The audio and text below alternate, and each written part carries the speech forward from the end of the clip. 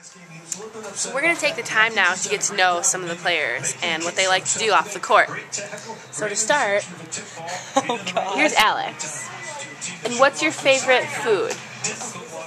Pumpkin pie. And your favorite TV show? Friends.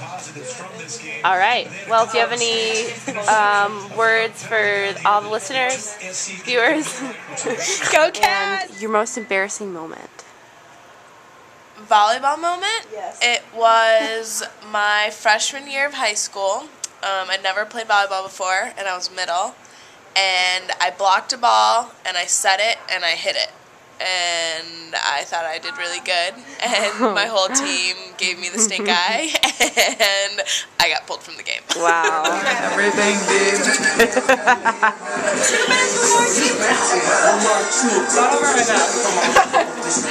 Cellophane! Mr. Cellophane! Don't even know my name, Mr. Cellophane! You can walk right through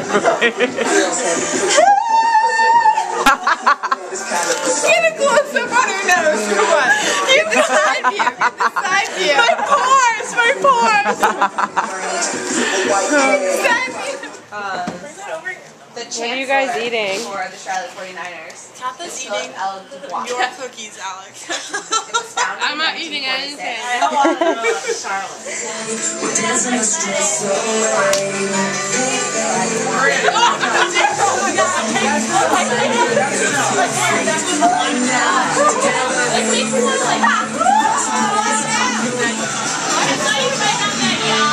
He just gave this to me.